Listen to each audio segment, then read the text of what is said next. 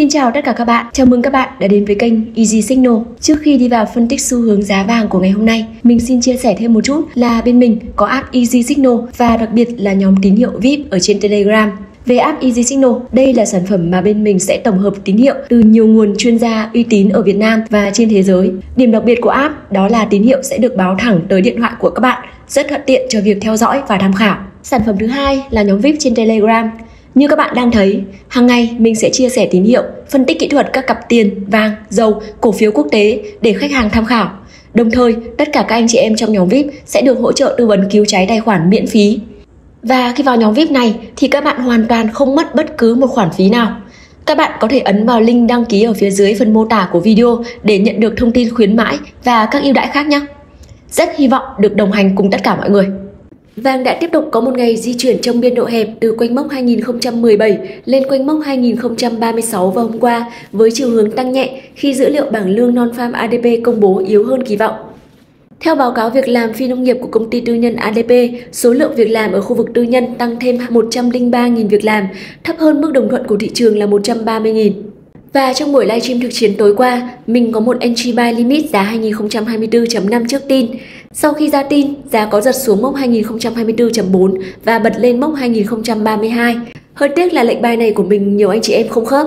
Chỉ có một số anh chị em dùng tài khoản Zero với spread thấp thì khớp lệnh và một số khác thì mọi người giải bài ngay từ 2025, 2026 thì đã có lợi nhuận. Mình rất vui vì nhận định của mình tương đối là chính xác và đã giúp ích được cho một số anh chị em giao dịch có lợi nhuận. Tuy nhiên vì phần đông mọi người không khớp được nên mình không tính lệnh này.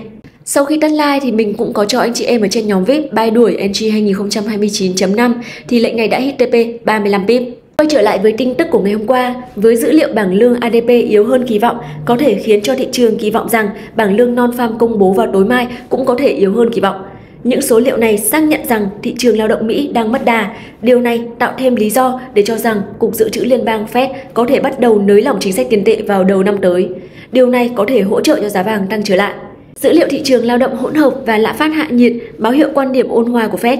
Tuy nhiên, các quan chức không loại trừ khả năng thắt chặt hơn nữa. Phỏng đoán này cho thấy cách tiếp cận thận trọng nhưng linh hoạt đối với chính sách tiền tệ của họ. Vì vậy, các dữ liệu kinh tế sắp tới sẽ được theo dõi chặt chẽ. Dữ liệu thị trường lao động sắp tới vào ngày mai sẽ đóng một vai trò không thể thiếu trong việc hình thành những kỳ vọng về quyết định của Fed. Điều này có thể sẽ tác động đến đồng đô la Mỹ và giá vàng. Về tin tức của ngày hôm nay, vào lúc 20 giờ 30 phút, Hoa Kỳ sẽ công bố số đơn đề nghị trợ cấp thất nghiệp lần đầu. Theo dự báo, số đơn đề nghị trợ cấp thất nghiệp lần đầu đã tăng lên từ mốc 218.000 đơn lên mốc 222.000 đơn. Nếu các số liệu thực tế như dự báo, sẽ gây bất lợi cho đồng đô la Mỹ và hỗ trợ cho giá vàng tăng. Quay trở lại với biểu đồ phân tích kỹ thuật của vàng, trên biểu đồ ngày, hôm qua thì vàng đã có một ngày phục hồi, đóng cửa trên MA10, cho thấy khả năng vàng sẽ có nhịp hồi quay trở lại mốc 2035-2040 vào ngày hôm nay.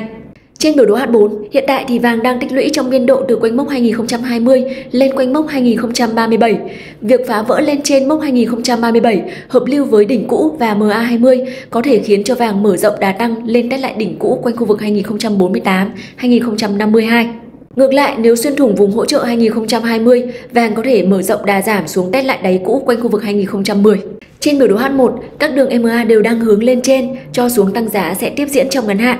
Hiện tại thì vàng đang di chuyển tích lũy trong biên độ của mô hình tam giác với các đỉnh thấp dần và các đáy cao dần. Việc phá vỡ cạnh nào của mô hình tam giác có thể khiến cho vàng di chuyển theo chiều hướng phá. Mọi người có thể cân nhắc kênh mua nhỏ với vàng khi vàng tiếp cận lại biên dưới của mô hình tam giác quanh khu vực 2025-2026 hoặc kênh mua chính khi vàng điều chỉnh test lại hỗ trợ quanh khu vực 2020-2022 nếu xuất hiện các tín hiệu đảo chiều, dừng lỗ khoảng 5 giá.